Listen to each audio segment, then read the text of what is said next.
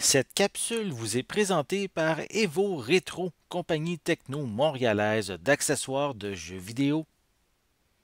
Et bonjour, ici Sébastien, j'espère que vous allez bien. Nouvelle présentation aujourd'hui, je vous parle de Looking for Alaska, une mini-série en format DVD qui est distribuée par Paramount, euh, qu'on peut déjà se procurer en magasin puisqu'elle est euh, disponible depuis le 21 avril 2020. Euh, ça met à vedette Charlie Plummer, Christine Frossett, Danny Love et Jay Lee. C'est adapté en fait du roman euh, du, livre de John Green qui est paru en 2005, euh, qui avait exactement le même titre. Euh, le roman s'appelait Looking for Alaska. Donc ici, cette mini-série dramatique permet de suivre l'histoire de Miles, qui est un adolescent qui arrive dans un nouveau pensionnat, le pensionnat de Culver Creek. donc ici, dans sa nouvelle école, il va se lier d'amitié avec Chip, Takumi et la belle Alaska.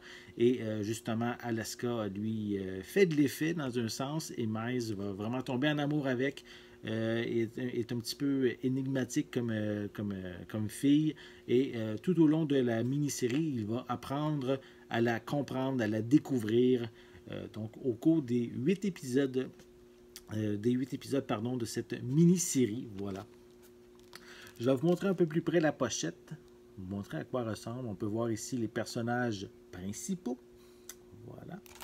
À l'arrière aussi, on a quelques images qui provient de la mini-série. Voilà. Euh, sinon, je peux mentionner qu'on retrouve des pistes sonores en anglais 5.1. On a aussi une piste anglais DVS qui est incluse, des sous-titres en anglais aussi qui sont euh, euh, inclus. la mini-série dure 7 heures 5 minutes. elle est sur 3 DVD. Ensuite, au niveau des suppléments, on a des scènes supprimées. On a une featurette pour euh, mieux comprendre les personnages, les acteurs également qui, euh, les interprètent. On a aussi euh, une autre featurette qui nous permet de découvrir comment s'est passé le passage du roman vers, l'écran pour cette histoire-là. Donc ça, ça complète au niveau des suppléments. Je vais le déballer, je vais vous montrer à quoi ressemble l'intérieur du boîtier. Voilà, déballons le tout.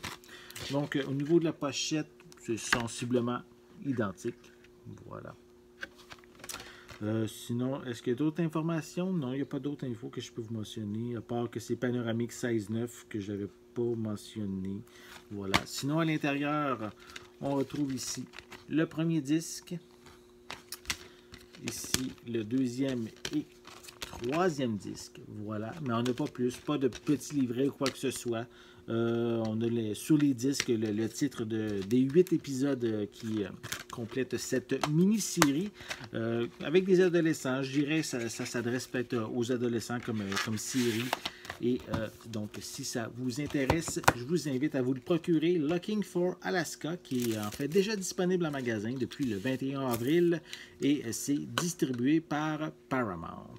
Donc, j'espère que vous avez aimé cette vidéo. Si c'est le cas, n'hésitez pas à mettre un pouce en l'air, à laisser des commentaires. Dites-moi justement, est-ce que c'est ce genre de mini-série dramatique euh, Est-ce que c'est quelque chose qui vous intéresse?